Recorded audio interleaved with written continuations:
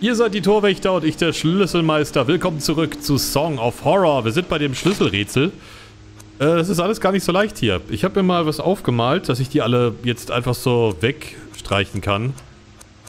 Ähm, ich muss nämlich jetzt logisch versuchen, die einzelnen Schlüssel hier rauszufiltern. So, warte mal. In der rechten Spalte sind alte Schlüssel. Ich hebe sie nur für den Fall der Fälle auf. Also die alle rechts hier, ja? Die da. Werde ich schon mal alle wegstreichen. Ich habe mir so ein Raster aufgemalt. Mit acht Spalten und vier Zeilen. So. Also die sind alle weg. Klar, was haben wir als nächstes? Die farbigen Metallschlüssel sind für die Sicherheitstür zum Laden und die Schlösser. Farbigen Metallschlüssel. Also, müssten die so ein bisschen glänzen, ja? Aber das irgendwie... Weil das irgendwie so ein bisschen... Das ist schwierig, die leuchten ja nicht alle. Die sehen aus wie aus Plastik hier. Der da... Warte mal, also das ist auf jeden Fall ein Metallschlüssel, der blaue. Den werde ich mal wegstreichen. Die beiden sehen auch sehr metallisch aus. Äh, da weiß ich es nicht. Metall, Metall, Metall. So zwei. Äh, die beiden. So. Und das ist Metall und das ist auch Metall, würde ich mal sagen. Der dritte und der sechste. So. Dann haben wir das. Ich hoffe, das stimmt auch. Ähm, so, die quadratischen goldenen Schlüssel und die schwarzen Kunststoffschlüssel gehören alle zu den Geräten und Apparaten im Laden. Also die sind auf jeden Fall alle Kunststoff, die schwarzen Schlüssel, ja? Ich mal sagen, der da kommt weg. Der da kommt weg. Und der da kommt weg. Dann habe ich nicht mehr so viele. Dann immer weniger. So, äh, die quadratischen goldenen Schlüssel. Was ist denn hier quadratisch? Also der ist auf jeden Fall sehr quadratisch. Ist das quadratisch? Lass ihn mal. Ja. Der ist auf jeden Fall auch quadratisch hier. Ich würde sagen, die sind auch quadratisch, auch wenn sie halt so ein bisschen oval aussehen fast schon. Ich streiche sie mal weg. Die sind doch, ja doch. Den eigentlich auch, der ist auch quadratisch, okay. Ist jetzt meistens auch Auslegungssache, aber... So. Äh, so. Die runden und dreieckigen silbernen Schlüssel sind die Kopien, die du für die alten Vitrinen angefertigt hast. Hat, hast. So, die beiden schon mal, würde ich sagen. Das und das. Der ist auf jeden Fall rund. Der ist rund. Der vierte. Der ist dreieckig, rund. Ja, die können beide weg. Ey, cool. Es sind nur noch 1, 2, 3, 4, 5, 6 Schlüssel. Sechs Schlüssel nur noch. So. Äh, der runde grüne Kunststoffschlüssel ist für dein Motorrad. Ähm, und der rote Kunststoffschlüssel für den Safe. Runder grüner. Plastik. Also warte mal, der ist rund und rot. Der kommt auf jeden Fall weg. Ah, warte mal, das ist ja nur... Der rote Kunststoffschlüssel... Achso, ist auch Kunststoff. Der runde grüne Kunststoffschlüssel denn hier Kunststoff? Der da? Nee. Der ist noch frei. Warte mal, das ist der kleine für die Kiste der Mutter. Ja. Der kann auch weg. Cool, wir haben nur noch vier Stück. Ich hab's ja gleich. Nee, den habe ich auch schon weg. Wir haben den hier noch. An grünen. Den silbernen noch. Habe ich den hier nicht weg? Das war ein Metallschlüssel, ja. Und den hier ganz oben haben wir noch. Also der hier ist es auf jeden Fall, offensichtlich. Der hier ist es auf jeden Fall. Ja, und jetzt ist eigentlich nicht mehr schwer. Entweder der oder der. Aber das, ist der rund? Ich nehme mal den. Das war's. Cool. First try, sag ich mal. Also ich habe ja letztes Mal schon kurz überlegt, aber ich glaube, das sind die Schlüssel zu den Lagerräumen des Ladens. Drei Schlüssel, die in Erika Färbers Wohnung gefunden wurden. Sie öffnen die Lagerräume des Geschäfts. Schneller! Ich kann fliegen. Oh, Leute, das ist cool. Das gefällt mir, solche Rätsel. Das ist einfach so logisches Aussortieren. Geil. Auch wenn es halt jetzt ein bisschen komisch war, wegen Metall und Plastik. Und es war nicht richtig zu... Also gut, es war schon zu identifizieren, was rund ist und was eckig, aber... Ja, geil. Warte mal, ich habe da noch dieses Dokument mit den Münzen. Aber ich habe... Warte mal, Notiz von Erika Färber. War das Rad? Das habe ich ja schon gelöst. Anleitung zu den Schlüsseln. Warum sieht das aus wie negativ? Notizen von Isaac Färber. Ach, das war das. Der Brief. Artikelliste. Ach nee, das war dann Haikus. Warte mal. Ja, aber ist das wirklich notwendig, dass ich das mache mit den Wahrsagen? Hier, im Spiegel, sie bleibt außer sich. Warte, öffne ich die Tür. Hier, Schimmer, vier Krieger, Käfig, Regen und einer weiter hinten. Krieger, Käfig, Regen. Warte mal, Käfig war das mit dem Skorpion. Äh, mit der Spinne. Hier Krieger. Äh, also, nee, Krieger, Käfig, Regen. Und einer weiter hinten. Was soll das bedeuten mit dem einer weiter hinten?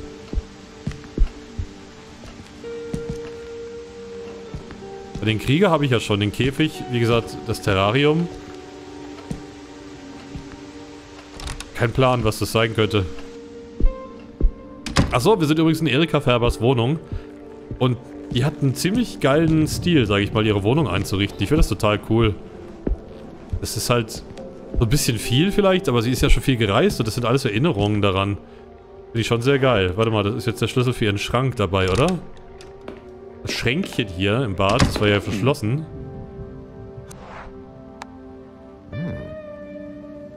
No way. Was? Was? Warte mal, was? Keiner von ihnen sieht gleich aus und doch sollte man meinen, dass sie alle die gleiche Funktion haben. Ahaha, Daniel, du bist... Ah, du bist so witzig. er ist so lustig, ne?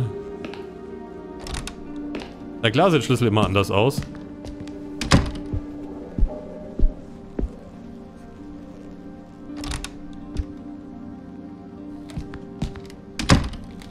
So, dann gucken wir uns mal die anderen Räume an. Es gibt ja noch ein paar. Ich hab so ein bisschen Schiss, weil irgendwas muss ja noch passieren. Oh. Darf ich noch mehr Klamotten durchwühlen? Ja. Daniel, willst du wirklich die schmutzigen Klamotten einer jungen Frau durchstöbern? Ich bin mir sicher, der Richter wird dir glauben. Ja, komm, mach jetzt.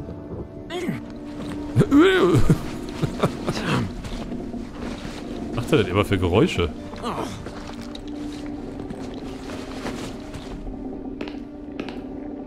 Gefunden. Auch irgendwie offensichtlich...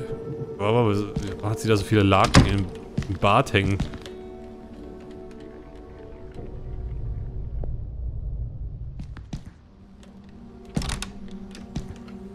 Oha. Guck ich mal dieses Wohnzimmer an. Meine erste Bude war ein Witz dagegen. Und sie hat so ein riesiges Zimmer hier, also so ein riesiges Haus. Oder Wohnung, besser gesagt. Äh, B-Movie-Horrorfilme. Ich mag es, wie anspruchslos die sind. Obwohl sonst wenig für sie spricht, um ehrlich zu sein. Sophie liebt diese Art von Möbel. Äh, was? Sophie liebt diese Art von modernen Möbeln. Oh, guck mal, eine alte Kamera. Dieser Projektor erinnert mich an entspannte Sommerabende, an denen ich mit Freunden Filme angeschaut habe. Das? Mal überall Klamotten hat so rumliegen. Klassische Rock- und Jazz-Alben, guter Geschmack. Mir wäre es am liebsten, wenn ich das nicht tun müsste. Musst du auch nicht. Du willst es doch in den BHs und Höschen rumwühlen. Guck mal. Also Daniel, beherrsch dich. Dammit. Dammit. Endlich, hier ist was. Oh! Ein kleiner, ein kleiner Schlüssel gefunden in Erika Färbers schmutziger Wäsche. Es sieht aus wie ein Spielzeug. Aha. Und sie hat einen Arcade-Automaten. Erika Färber muss diese Maschinen lieben. Ich habe nie wirklich verstanden, was ihren Reiz ausmacht. Wow, buh. Die sind cool. Ein schicker Plattenspieler. Ich weiß nicht warum, aber bei dem Anblick möchte ich am liebsten Musik von damals spielen. Hm, das hier ist appetitlich. Oh Gott, ist das ekelhaft. Und sie raucht auch. Die Pflanze ist abgestorben, der Boden ist knochentrocken. Am Pflanze. Ein Fotoapparat, der mit den Büchern und Reiseführern zusammengestellt wurde. Hier, Erika Färber hat eine beeindruckende Schallplattensammlung. Rockklassiker einschließlich äh, einschließlich der legendären Single Stairway to Heaven. Ich brauche diesen Haufen nicht zu durchsuchen. Ich ja? Du willst es doch. Wer weiß, wie lange das Geschirr nicht gewaschen wurde. Guter Gott, da muss alles Mögliche drin sein. Yikes. Alle möglichen Arten von Gewürzen. Beim Kochen gebe ich immer jede Menge von dem Zeug nach dem Zufallsprinzip ins Essen, damit meine Gerichte exotisch wirken. Das wirkt nicht exotisch, das wirkt einfach nur eklig. Äh, das sind eine Menge Messer. Ich habe keine Ahnung, wofür die Hälfte von denen ist. Zum Schneiden? Von Dingen? Ich halte auch nicht so viel davon, dass man für alles ein Messer braucht. Ich habe ein Chefmesser und das reicht zum Kochen. Mehr brauche ich nicht. Damit esse ich auch mein Essen und schneide das. Nein, natürlich nicht, aber ein Messer reicht in der Regel. Wenn man weiß, was man macht. So, das ist bestimmt für den kleinen Schrank und da ist jetzt das Luminol drin, hundertprozentig. Irgendwie geht mir gerade so ein bisschen der Horror-Part hier ab. Also es ist nicht gruselig gerade. Es ist einfach so ein bisschen... Ja, einen auf Creep machen und die Wohnung von der jungen Frau durchsuchen. Ja, natürlich war das richtig. Diese Flasche sieht nützlich aus. Eine, um eine Flasche Luminol. Eine ungeöffnete Flasche Luminol. Ja. Hier steht, dass es 150 Milligramm sind. Ich habe gesehen, wie, dieses Zeug im, wie sie dieses Zeug im Fernsehen benutzt haben, um alte Blutflecken zu finden. Ja, cool. Das war's in Erika Färbers Wohnung, hoffe ich. Weil ich will mal wieder ein bisschen Grusel haben, ne? Wie so ein Creep hier. Guck mal, es ist überall Licht an, aber wir laufen mit der, mit der Taschenlampe durch die Wohnung. Warum... Warum ist ja eigentlich überall Licht an? Das macht man doch nicht. Können wir dazu auch nochmal Schlüssel hängen? Warum nehme ich die nicht mit? Nun. Alles klärchen. So, was haben wir denn jetzt noch? Ich kann mal ein Notizbuch zumachen. Ich habe nämlich nichts mehr aufgeschrieben. Alles abgearbeitet.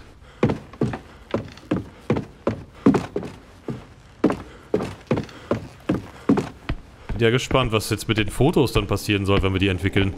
Und mir fehlt halt immer noch so eine Münze. Warte mal. War hier noch was? Weil da konnte ich ja noch gucken. Ein Müllberg. Guten Tag, ich bin Hans Müllberg. Ja. Müllabholpläne und dergleichen. Was wahrscheinlich kein Schwein befolgt. Weil der Müll steht hier bald im Hausflur.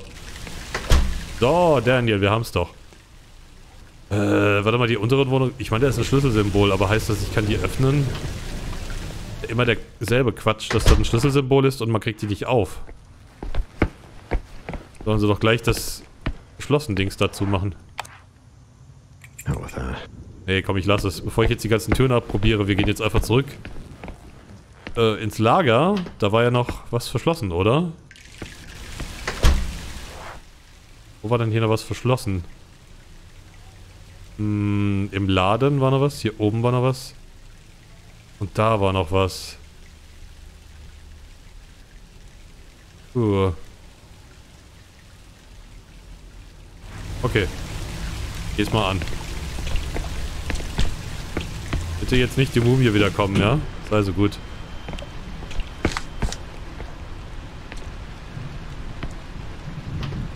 Mommy alive.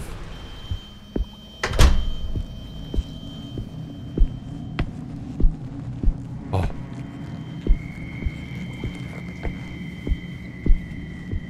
Mami. Okay, okay, wo war das jetzt nochmal?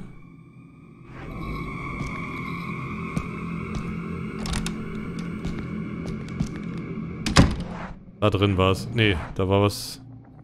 Das war zum Verstecken. Da war aber nichts Verschlossenes, oder? Aufstellungsstück. Wohnung Innenbereich. Äh, da war noch was. Block 4, das ignoriere ich jetzt einfach mal. Lagerräume. Im Keller war das. Da war ich ja doch gar nicht so falsch hier. Ich hab so ein bisschen Nehme ich? Oh, die Kamera. Gut, ich nehme auf. ich muss immer die Kamera überprüfen. Das ist so ein leichter Running Gag. So. Lauschen brauche ich nicht, okay. Alles klärchen. So, da war das Vieh hinter, letztes Mal.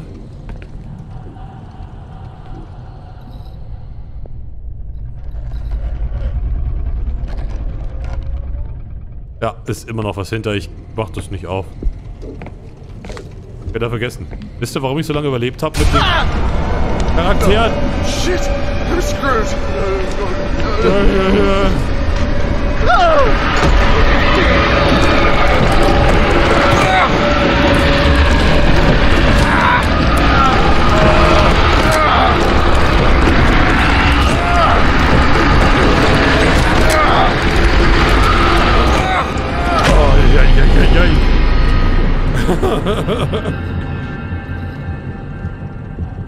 Do me a favor and stay shut. Und stay down. Das ist halt echt immer noch da drin. Ich meine, ist klar, ich habe die Tür zugehalten. Ja, ja, aber es ist halt irgendwas Übernatürliches, deswegen. Okay. Sehr gut.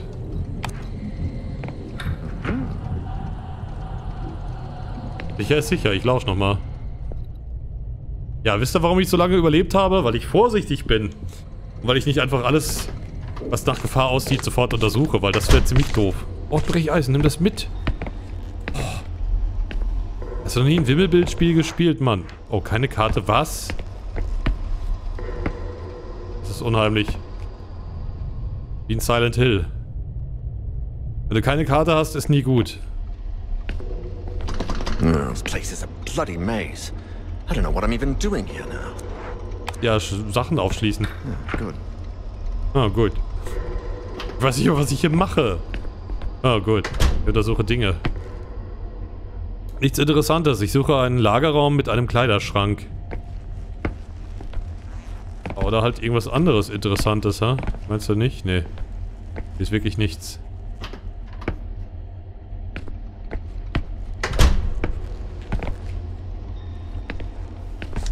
Oh mein Gott. Weit geht's hier denn noch? This place is a bloody maze. Oh, I don't know what I'm even doing here now. echt unheimlich mit der Puppe hier.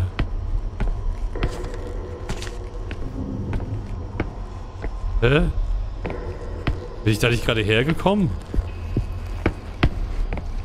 Nee. Alter, das ist halt echt voll das Labyrinth. Ah, hier geht's noch.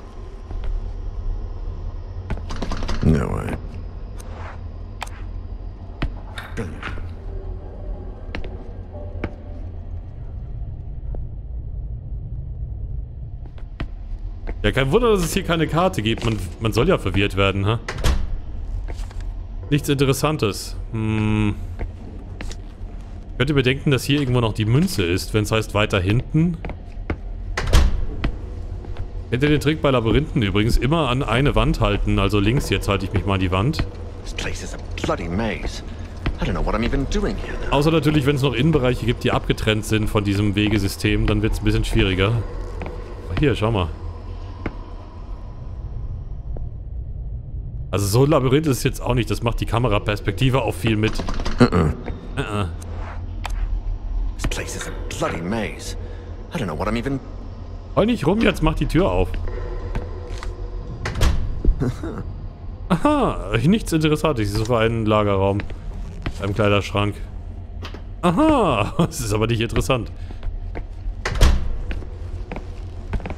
This place is a bloody maze. I don't know what I'm even doing here now. Ja, wenn er auf vom... Ach, der Kerl, der geht mir gerade so ein bisschen auf die... Alles mit den Schildern ist so toll, dass die fluoreszieren. Na, habt ihr euch schon verlaufen? Also ich weiß noch, wo ich bin. Daniel, wenn das, wenn das alle Minute sagst, reicht das. Und nicht alle paar Sekunden. Hör mal lieber. Das ist a bloody maze. Ah, Kleiderschrank. Die Notizen erwähnten einen Kleiderschrank mit Blutflecken, die nur mit Luminol sichtbar gemacht werden können. Ich frage mich, ob das der richtige Lagerraum ist. Warte mal, die werde ich mal kombinieren. Was?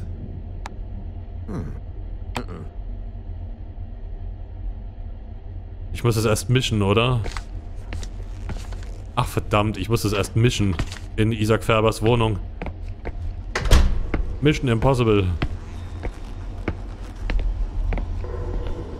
Alle versiegelt. Warum auch immer. This place is a bloody maze. I don't know what I'm even doing here now.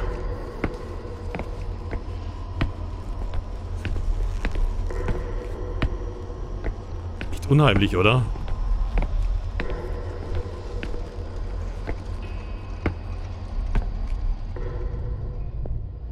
Okay. place is a bloody maze. I don't know what I'm even doing here now. Ja. Oh. Dass man das nicht gleich benutzen kann, den Schlüssel, obwohl ich weiß halt schon, dass es verschlossen ist. Ich kann es mir zumindest denken. Oh, eine alte Nähmaschine. Hm. Hätte er ruhig kommentieren können. Oh, wie cool, eine alte Nähmaschine.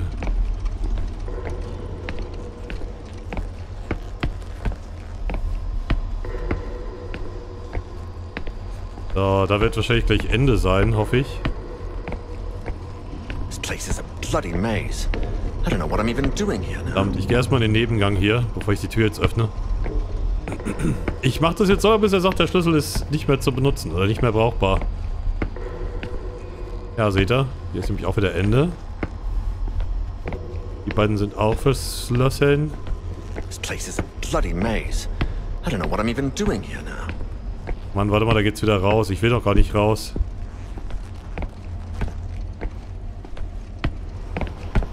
So, hier ist das Brecheisen, da geht's raus. Schade. Da muss ich halt echt, echt erst das Zeug mischen. Aber wo bitte bekomme ich jetzt alles her?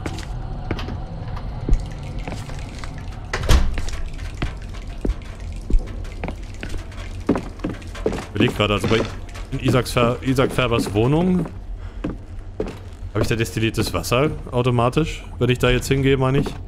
Am Waschbecken oder so.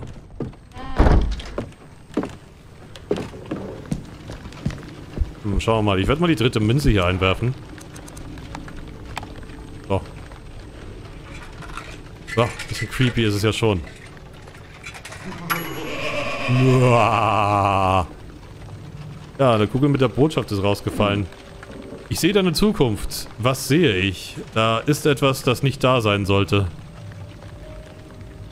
Ist klar. Okay, auf zu Isaac Färbers Wohnung.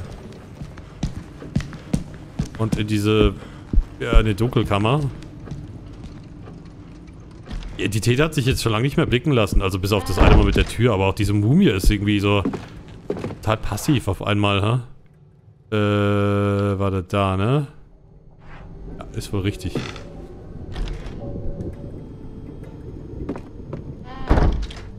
Tap, tap, tap, padap. Der für ein Müll rumliegt überall, oder?